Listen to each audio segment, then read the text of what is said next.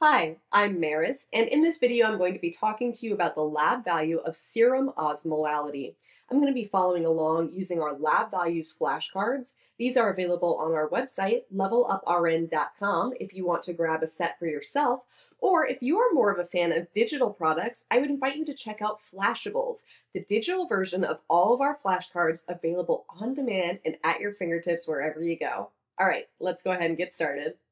So today we're talking about serum osmolality. And if you watched my video on urine osmolality, these are very similar values. However, in this case, we're not looking at the osmolality of urine, we're looking at the osmolality of your blood serum. So again, what does this mean? Osmolality is just a measure of how many particles are dissolved in a liquid. That's that's really all we're looking at. So we're looking at how much stuff is dissolved in the liquid portion of your blood. Okay, so this is not counting things like uh, red blood cells and white blood cells and platelets. Those are not uh, the part of your plasma, those are the formed elements. So we are just looking at how much stuff is dissolved in the plasma once it is separated out from those formed elements. And the expected range here is going to be 285 to 295 milliosmoles per liter, okay? So again, we are just looking to see do you have pretty well uh, balanced blood here? Do you have a good balance of fluid to things dissolved in it? Or are we looking at we've got way too much fluid or way too much stuff? Either way. So let's talk about this a little bit. When we talk about decreased serum osmolality, this is dilute blood, okay? So we have more liquid than stuff, or we have fewer particles than expected. Either way, we're talking about dilute blood here. So some possible causes are going to be SIADH, uh, overhydration, or what we would say like fluid volume overload, um, and then some different types of uh, uh, electrolyte imbalances, such as hyponatremia. The point here being that uh, with SIADH or fluid volume overload, I've got too much fluid. I'm holding on to a lot of fluid.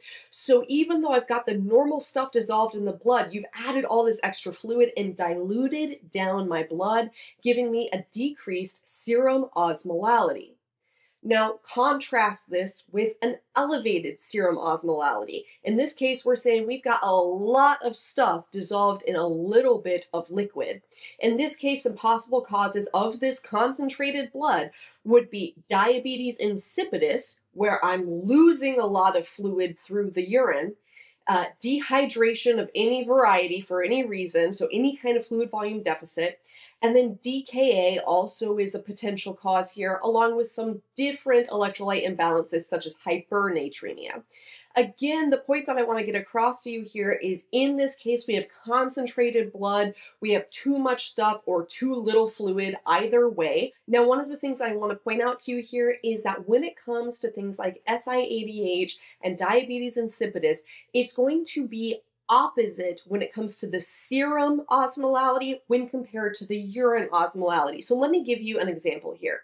In the case of SIADH, I'm holding on to a lot of fluid. I'm not letting any fluid out through my urine. So in this case, I would expect my serum osmolality, my blood, to be dilute, right? I'm expecting that I've got a lot of fluid diluting the stuff inside my blood. However, I'm not really passing it out as urine. So in this case, I'm going to expect the urine osmolality to be increased. A lot of stuff, not a lot of fluid, right? So you see how those things are opposite it's the same thing with diabetes insipidus. In this case, uh, I'm passing a lot of fluid. I'm not holding on to enough. So my serum osmolality is going to go up. I have more stuff and less fluid. My urine osmolality is going to go down because I have a ton of fluid that's diluting out the stuff. So just don't get those things confused. Remember that they are opposite because it has to do with the fluid in my body versus the fluid I'm passing out through my body. All right, I'm so glad you stayed until the end because I'm going to test your knowledge of a key fact provided in this video with a quiz question. When reviewing the lab results for a patient experiencing an exacerbation of congestive heart failure, how should the nurse expect their serum osmolality to be affected? It will be decreased due to fluid volume overload. All right, that is it for this video. I do hope you learned something. If you did, would you leave us a comment and let us know what? It really makes our day to see that. And hey, if you have a great way of remembering something that I didn't mention, let us know in a comment too. We love seeing it, but it's beneficial to other learners as well. All right, I'll see you in the next one. Thanks so much and happy studying. We invite you to subscribe to our channel and share a link with your classmates and friends in nursing school. And if you found value in this video, be sure to hit that like button and let us know what you found to be particularly helpful.